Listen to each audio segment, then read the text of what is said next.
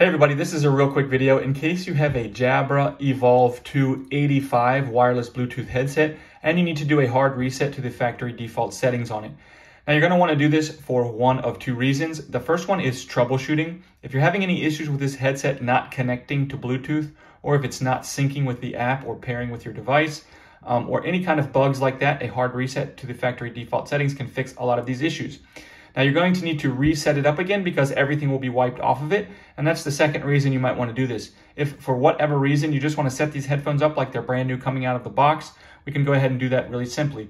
We just need to make sure they're turned on and they're not on a call or anything like that. And all we need to do then is just come and find this multifunction button here and the volume up button and press and hold those two buttons simultaneously for three seconds until we see this um, little light indicator here turn pink. The headphones will actually audibly indicate that they're resetting, at which point you can let go of these two buttons, allow it to complete the reset, and then you can just basically set these up as a brand new set of headphones coming out of the box.